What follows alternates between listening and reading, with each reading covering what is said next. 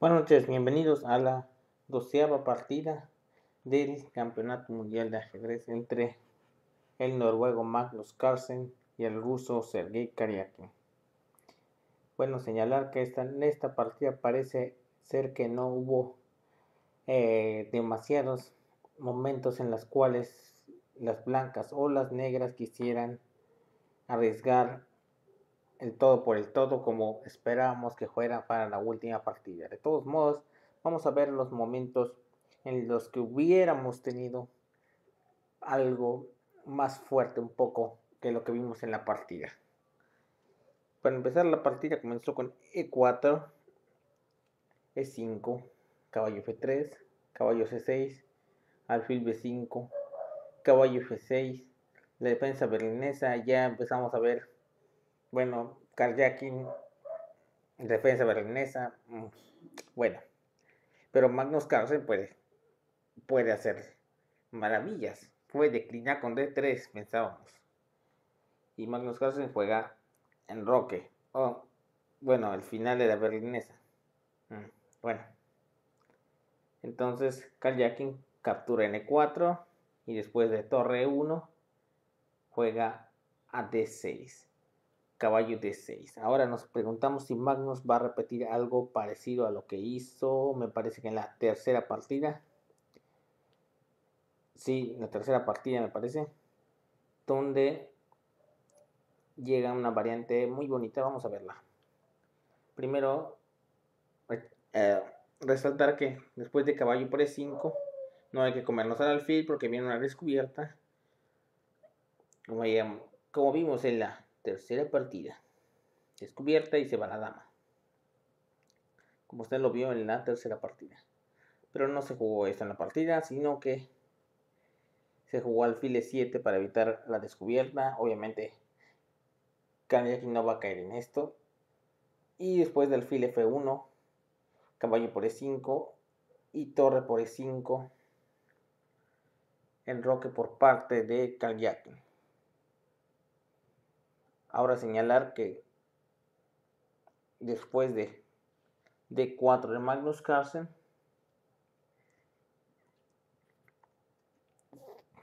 se puede jugar B6 para desarrollar el alfil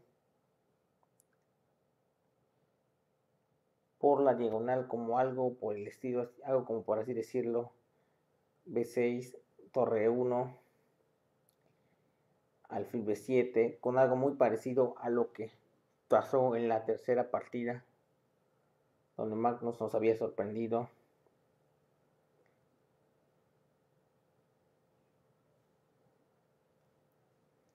Con una maniobra que empezó con b6 y torre e2 y nos sorprendió un poco a nosotros el noruego.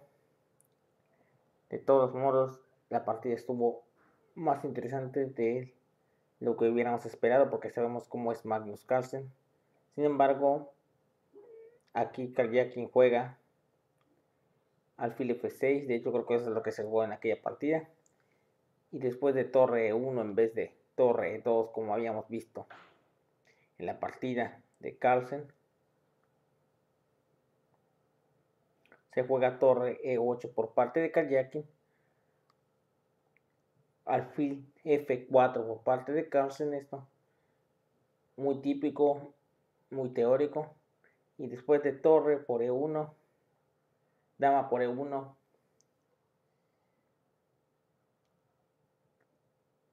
podría seguir la, de, la divertida alfil por D4 seguida de alfil por D6 y ahora no hay que engolosinarnos pensando que ganamos. Pieza capturando en B2 porque sigue la intermedia alfil por C7 con la clave de que si la dama captura el alfil es jaque mate con la dama. Por ejemplo, dama por C7 y mate. Por lo cual la dama de las negras tendría que irse a F8 y después de caballo C3, alfil por A1, dama por A1. Las blancas tienen dos piezas por la torre y la torre de las negras está encerrada, por lo tanto debemos pensar que tienen ventaja las blancas. Entonces, por eso no es conveniente eh, dejar el alfil así y capturar el peón de B2. Por eso lo más conveniente es capturar primero en D6 y después de C3 y alfil F6 la posición pues mm, se cambiaron un par de piezas pero a cambio de la pareja de alfiles Magnus Carlsen tiene mejor estructura mm, entonces puede darle vida a esta partida. Se le puede dar vida a esta partida. Ahora pero eso no fue lo que pasó en la partida. Ese es el hubiera tan hermoso y deseado que muchos pensamos pero no. Lo cierto es que se jugó caballo de 8 y después de C3 y de 5 otra vez se pudo haber jugado algo más o menos interesante como caballo de 2 para saltar a F3 y tener cierto control sobre la casilla de 5 hubiera sido algo como G6 eh, alfil de 3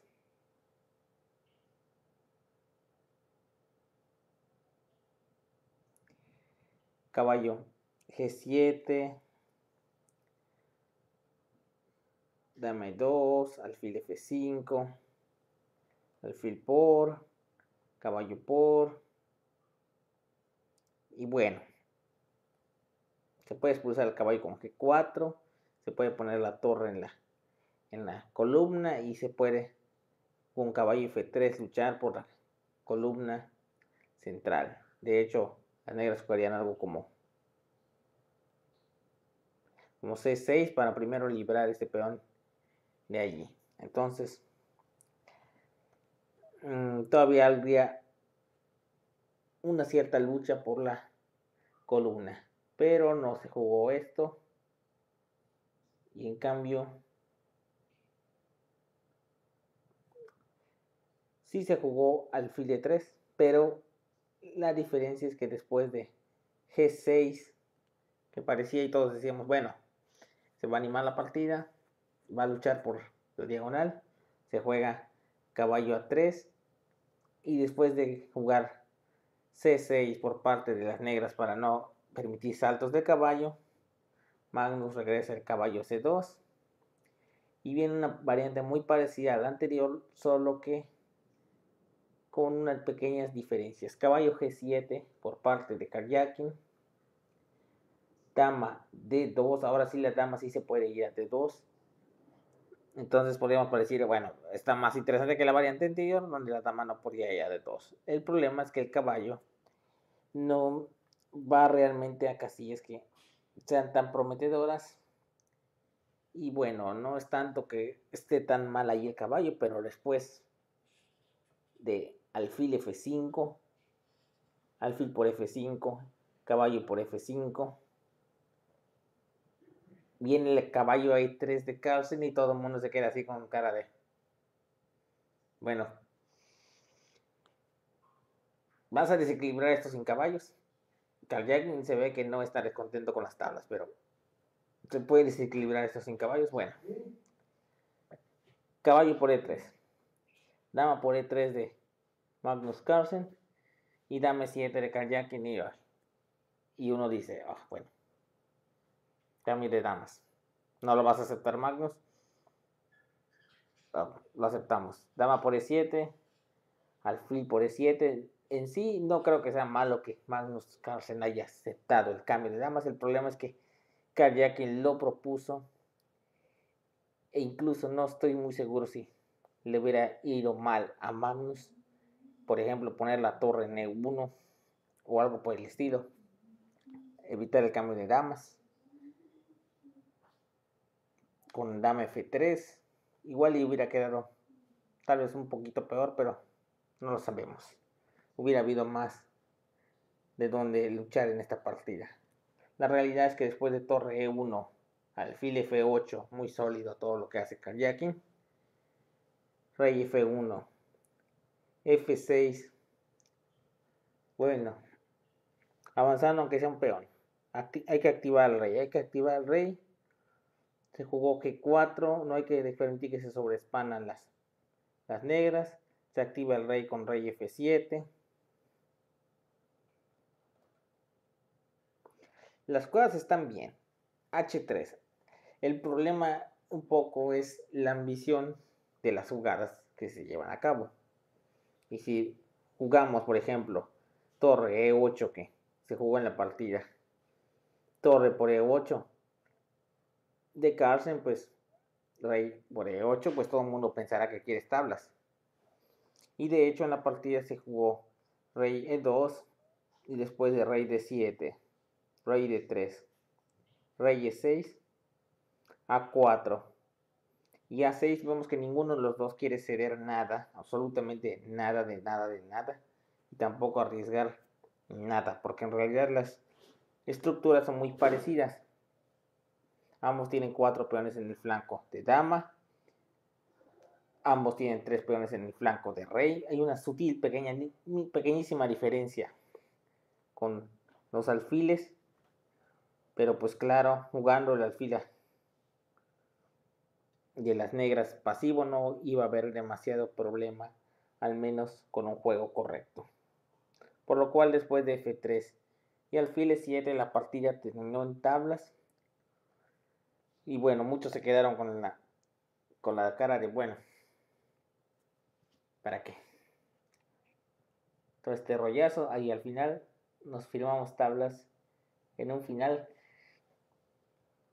en el que tal vez si bien arriesgar es malo, pero eh, espectáculo. Al final y al cabo creo que ellos nos responderán.